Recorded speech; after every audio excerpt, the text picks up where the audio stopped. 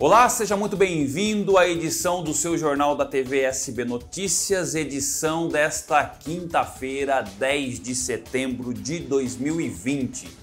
Para entrar em contato conosco, mandar a sua sugestão, a sua reclamação, acesse o WhatsApp que está aparecendo agora no seu vídeo. Para começar essa edição, nós informamos que aqui Santa Bárbara do Oeste registrou ontem, quarta-feira, mais 15 novos casos de Covid-19 e mais uma morte, de acordo com o boletim epidemiológico da Prefeitura de Santa Bárbara do Oeste. Agora são 4.816 casos confirmados e 142 óbitos ocorridos aqui na cidade desde o início da pandemia. Há ainda 1.258 casos suspeitos e duas mortes aguardando o resultado dos exames. Desse total, 4.445 pacientes já se recuperaram. O quadro geral do Covid-19 na cidade de Santa Bárbara do Oeste está assim estabelecido: 1.258 casos suspeitos, 4.816 casos confirmados em pacientes moradores aqui da cidade e mais 34 de moradores de outros municípios. 4.445 casos curados, é, 14.423 casos descartados, 142 óbitos confirmados, 2 óbitos suspeitos e 16 óbitos descartados. E o DAI está informando que haverá duas intervenções em dois pontos distintos da distribuição de água. Um no Jardim São Francisco e outro no Planalto do Sol, aqui em Santa Bárbara. Foram programados pelo DAI nesta quinta-feira, hoje, dia 10 de setembro o abastecimento de água poderá ser paralisado neste dia para os bairros inseridos nesse sistema, porém em horários diferentes. Ao todo, perto de 34 mil pessoas podem ter problemas com o abastecimento de água. No horário das 8 até a 1 hora da tarde, o abastecimento poderá ficar prejudicado para os bairros Planalto do Sol 1 e 2, Zabane Nova Conquista, Santa Fé, Cidade Nova e Joias de Santa Bárbara.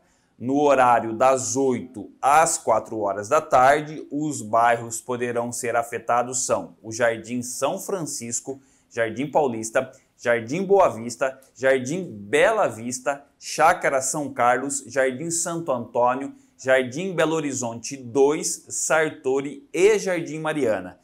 Os serviços correspondem à manutenção em rede elétrica no reservatório do Planalto do Sol e interligação em rede de água que será executada no cruzamento das ruas Chavantes e Caiapós, no bairro do Jardim São Francisco. O DAI solicita aí a compreensão dos moradores e orienta para a economia de água das caixas de água dos imóveis nesse dia.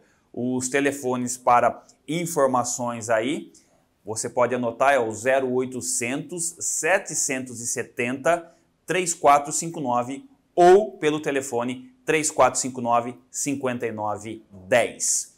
E a Prefeitura da cidade de Americana, por meio da vigilância epidemiológica, informou ontem, quarta-feira, o registro de mais um óbito por Covid-19 totalizando agora 135 mortes de residentes no município por esta doença.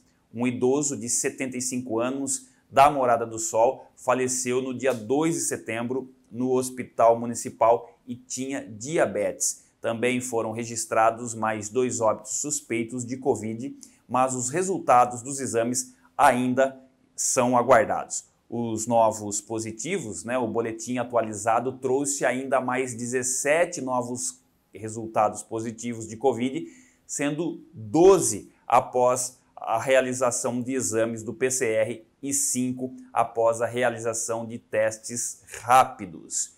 E o governo do estado de São Paulo, João Dória, anunciou ontem, quarta-feira, que o Produto Interno Bruto, o PIB de São Paulo, alcançou níveis semelhantes ao do início do ano, quando a economia ainda não sofria os impactos da pandemia do novo coronavírus.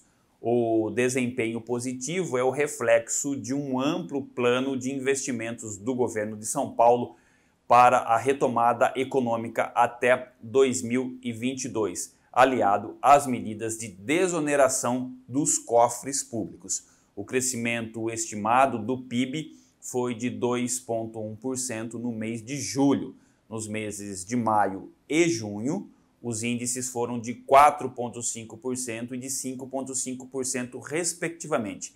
Com tais resultados, o PIB de São Paulo chegou a 103,2 pontos. O desempenho é semelhante ao observado no mês de janeiro, quando o PIB atingiu 103,4 pontos e o país ainda não sofria os impactos da pandemia. Esse foi mais uma edição do seu jornal da TV SB Notícias. Fique atento aos nossos canais para receber outros conteúdos. Se puder, fique em casa e até amanhã.